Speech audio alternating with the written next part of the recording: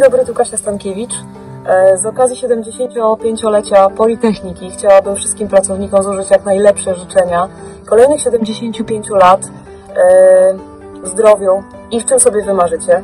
Ubolewam nad faktem, że nie mogliśmy się spotkać z okazji tego zacnego lecia na koncercie zespołu Various Monks. Mieliśmy dla Was zagrać, ale dobra wiadomość jest taka, e, że ten koncert się wydarzy za rok. 19 maja 2021 e, zagramy dla Was nie tylko największe przeboje zespołu Various Monks, ale także te nowe piosenki, które wcale pięknym nie ustępują tym starym.